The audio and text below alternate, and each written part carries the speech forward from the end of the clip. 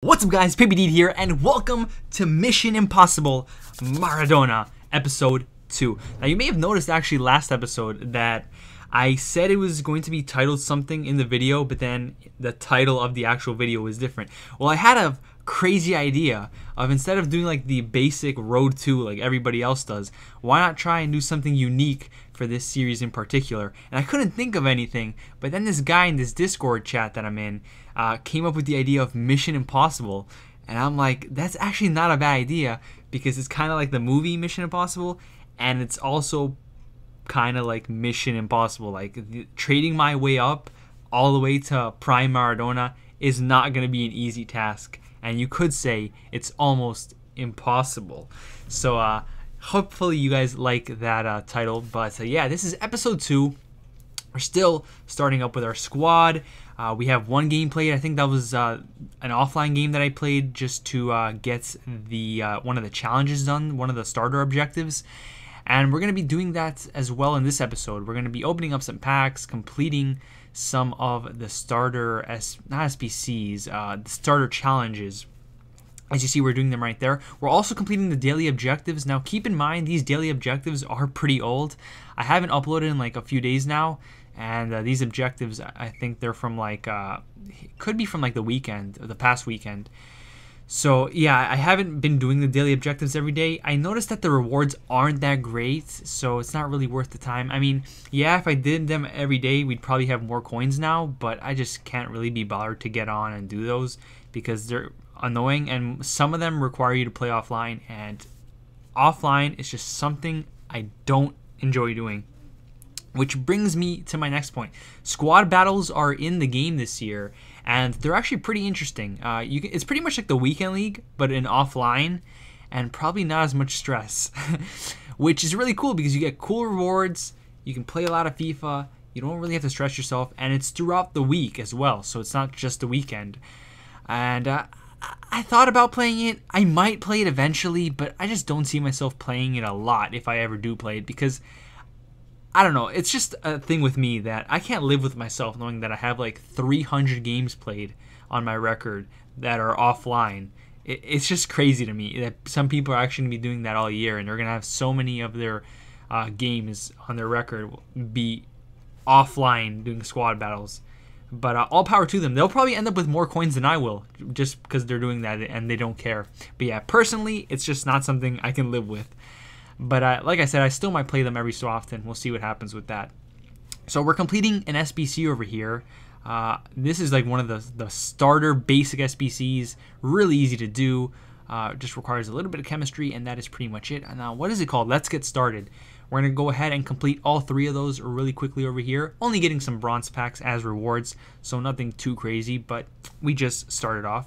So, of course, you want to do all you can to build your way up. As for the teams that I'm going to be using, haven't really made up my mind what I want to go with, but I did put together a team and half of another team with the players that we got uh, from starting off. So I built like an Argentinian type team. They're all like pretty much Argentinian, except I think one guy in the starting 11 isn't from Argentina. And then the other half team that I built is a Serie A team, which I don't really have too many players in. But yeah, I kind of want to do something like that where I go with an Argentinian team to start off with and a Serie A team.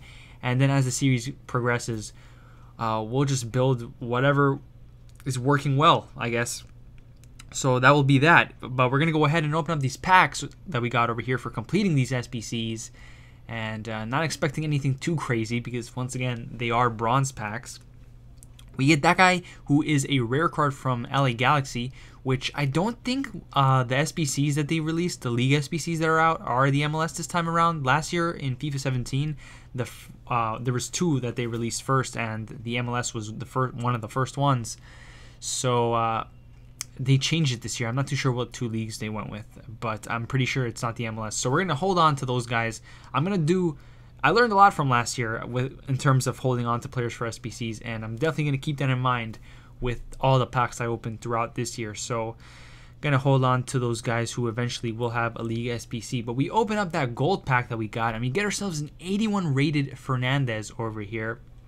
Not too shabby, and uh, that's not. Uh, No, that's someone else. I got confused with that. Uh, actually, is it is it that guy? I don't think it is that guy. Isn't there like a Russian league uh, left back or right back who's Brazilian in the Russian league? I said that twice. I feel like it was that guy, but maybe I'm wrong. I don't know. Uh, but yeah, we're putting together the team I was talking about over here. We're just grabbing every Argentinian I have in the club and just putting them all into a team. Not going to uh, get 100 chemistry because uh, some of the positions are out of balance. Also, I start with the 4-4-2, and I just completely for, thought, forgot about like uh, changing formation because why would I play with the 4-4-2? It's not really a formation I ever play with, but I just forgot and just went with it into this game over here and we're playing a game in Division 10, and we come across this guy who's got a pretty decent team to start off with. An all-gold team, 93 chemistry, without a doubt a better team than what we have. We have a couple of bronzes, a couple of silvers, we don't have all that great chemistry, and even the gold players that we do have, they're nothing too special. So I took this game which was in fact my first online game, so I wanted to win because I didn't want to start off with a loss. I took this game very conservatively. I didn't rush my passes, I played it slow. Had to keep in mind that my team was inferior to my opponents, so I played it really slow.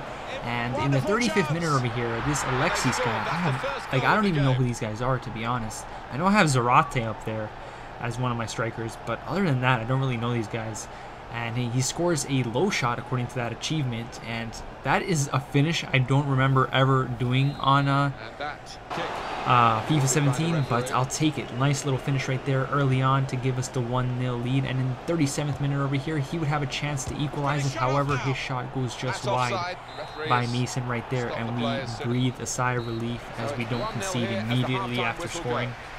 and with that we went into the half 1-0 up Stats not necessarily in our favor, but we're playing a pretty decent game considering our team.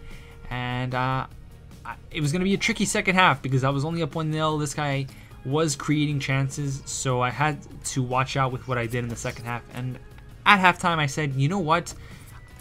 Why don't I just switch formation? I don't really know why I'm playing with the 4-4-2. I finally realized that I could switch formation, and that is exactly what I did. I switched to the 4-1-2-1-2 narrow because I don't have any wingers. So switching to like the 4-3-2-1 or whatever works this year with a winger formation, I it just wouldn't have made sense because I don't have any wingers and none of my attackers are really fast at all. So I just went with the 4-1-2-1-2 narrow, a formation that I know has been good in FIFA for years now. I'm not sure if it's good in this year, uh, but I'm guessing it is. I don't know. We'll just have to wait and see. So I switched that moved some players around, and later on I went ahead and brought on some subs as well because I don't really want to play with those bronze guys late in the game. So over here you just see me moving stuff around. I, actually, I don't bring them on just yet. I usually do my subs around the 60th minute, so that's when I'll do some subs. But yeah, we switched to the 4-1-2-1-2 narrow. I also put the instructions on, the same ones I've used in FIFA 17. And in the 52nd minutes, he gets a corner and scores it and uh, that was pretty annoying. Carlos Vela isn't that tall, I don't think, so the fact that he scored a header was a little bit infuriating. But uh, then again, my defenders aren't exactly amazing. Great dribbling right there by whoever that was, who ends up actually scoring. So I get Zarate. There you go. Mauro Zarate. What a great little play by him. Not the greatest of cards, but a great little dribbling run right there. Plays the 1-2, and he scores. A little bit lucky because the goalkeeper did save it but uh, it still went in. We took the 2-1 lead, and with that, we were on top once again. And not too long after scoring, we went ahead and did those subs that I was talking about earlier.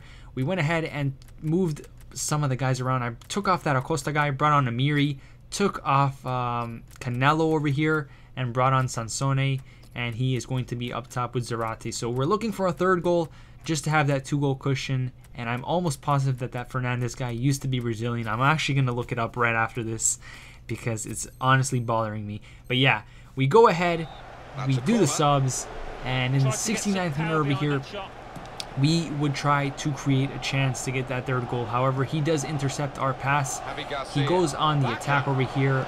Orellana gives a good pass to Montero, who's through on goal. Good shot, however, he is denied by the post. And once again, we are lucky not to have conceded. So this guy had two good chances, which had he scored, he'd have a 3-2 lead, and it would be very difficult for me to come back. And in the 84th minute, we would hit the woodwork as well, because we try a finesse shot outside the box right there, and we are denied by the post. So 2-1, 89th minute. This guy is going on the attack, trying to see if he can rescue a point. Plays it through to Bacca, who was through on goal. All he had to do was keep his composure and do a nice little cool finish into the bottom right corner. Unfortunately, though, he kind of panicked. He shot a bad shot. Our goalkeeper saved it. It went out for a corner. His header went wide. We would kick it out from the goal kick and play it, and that would be all she wrote because the referee would blow for full time, and we would get our first win in Division 10, our first game online with this mediocre team, two to one. And uh, with that, we get ourselves three points, which is very, very nice. So pretty happy that I won that game. Honestly thought I would struggle considering the guy's team. Not that he had an amazing team, but he had a gold team and I'd have like some bronzes and silvers and all that mumbo jumbo. But that is going to conclude this episode of Mission Impossible Maradona, guys. We're going to go ahead and actually open the packs as well because, well, not the packs. We're going to claim the rewards for playing a seasons game over here. We get ourselves a injury card, the also valuable injury card, and uh, we also get a, a task completed for um, having a player make a debut. I think that was one of the fullbacks that we signed, that silver guy. But yeah, that is going to conclude this episode, guys. Thank you so much for watching. Episode 3, we're going to continue doing the starter objectives. The last one that we need to do, the buy a player one, we're going to do that one and we're also going to do some SBCs. Thank you so much for watching. My name is PPD, and I'm out.